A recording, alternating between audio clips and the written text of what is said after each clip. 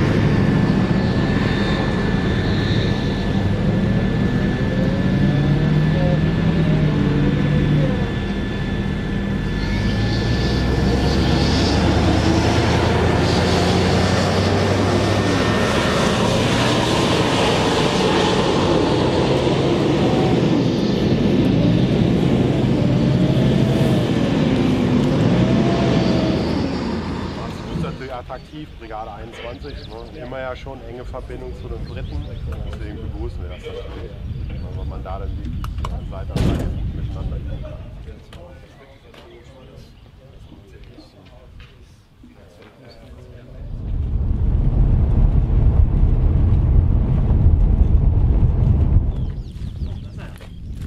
Guten Morgen, Herr Kanzler. Ne?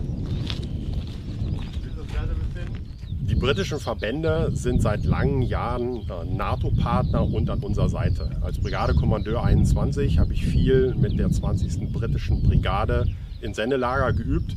Deswegen äh, bin ich froh, dass der Brigadier Boswell heute als der aktuelle Kommandeur 20. Brigade hier mit uns im Gütz ist. Äh, wir haben zuletzt geübt bei Allied Spirit, wir haben geübt bei Wessex Storm, wir üben aktuell, sodass hier die Zusammenarbeit weiter eng und vertrauensvoll ist.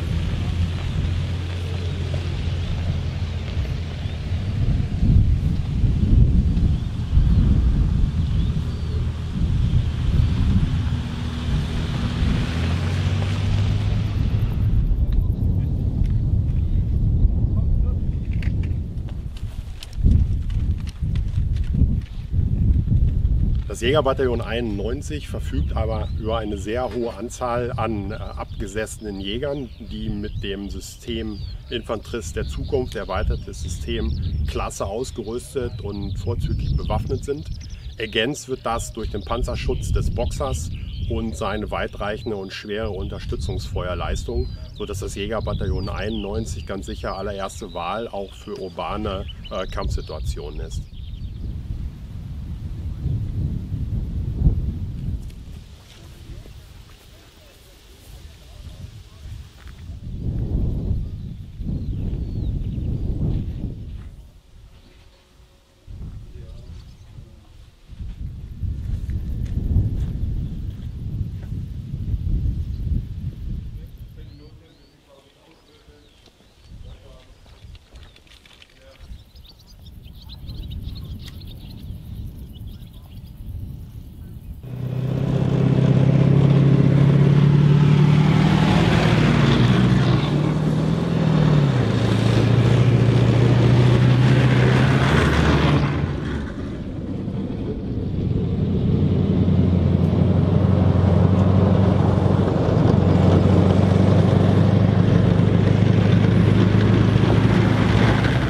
Mittlere Kräfte, das ist ein neues Konzept, äh, das wir gerade entwickeln.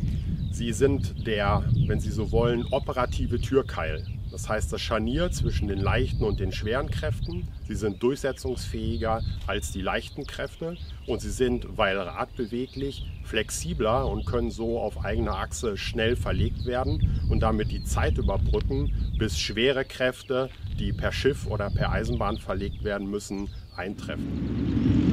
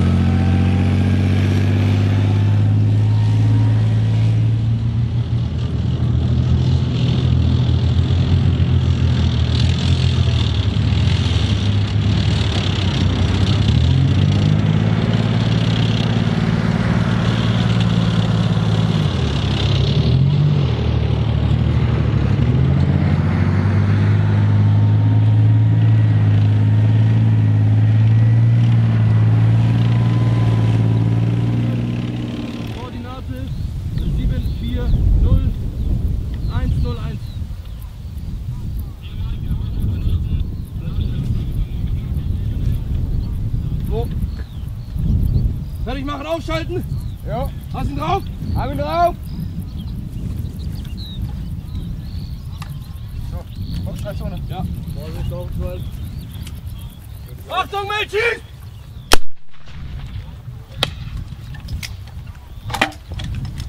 Ja, den nächsten Helikopter. Ja. Direkt den nächsten aufschalten. Ja.